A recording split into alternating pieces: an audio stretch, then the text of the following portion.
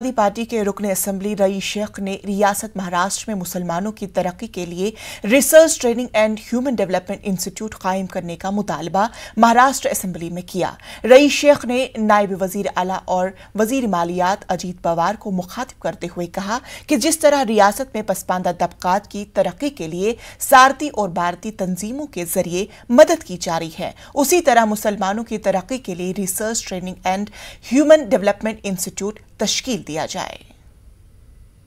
सम्मानीय अमीन पटेल जी ने मुस्लिम रिजर्वेशन के ऊपर बात की। मुस्लिम रिजर्वेशन में इसी सदन में हमने और जनाब अबू आसिम आजमी ने धरना भी किया है। लेकिन रिजर्वेशन के ऊपर जो सरकार की यहाँ पर नीति थी, उससे मुस्लिम समाज एक तरह से बहुत नाराज़ है और एक तरह से उसके साथ एक नाइंसाफी हो रही है। लेकिन अगर इस बजट के अंदर आप देखें तो जो संस्थाएँ शासन ने सपोर्ट की है, चाहे सारथी हो या भारती हो, उससे उन समाजों को न्याय मिल रहा है। दादा, आपने 250 करोड़ सारथी को दिया हुआ है 250 करोड़ भारती को दिया हुआ है।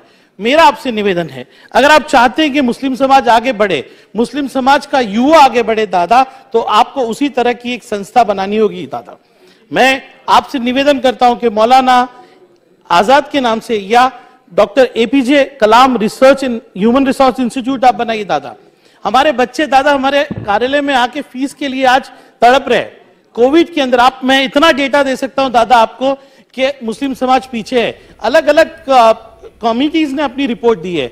लेकिन अगर आप पहल करके ये इंस्टीट्यूशनल मैकेनिज्म बनाएँगे तो यहाँ खड़े रह के किसी रईस को रिजर्वेशन मांगना नहीं पड़ेगा दादा।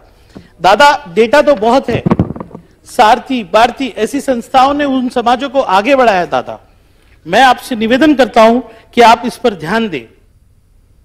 हिंद चीन के बीच एलएसी पर कशीदगी के दरमियान चीनी वज़ीर खारजा व्योंगई आइंदा हफ़्ते हिंदुस्तान का दौरा कर सकते हैं। जरा के मुताबिक 24 मार्च को चीनी वज़ीर खारजा हिंदुस्तान का दौरा कर सकते हैं। हालाँकि इस दौरे के ताल्लुक से अभी सरकारी तौर पर कोई तस्दीक नहीं की गई है। माना जा रहा है कि चीन की जानब से बाहमी मुजाकर की तजवीज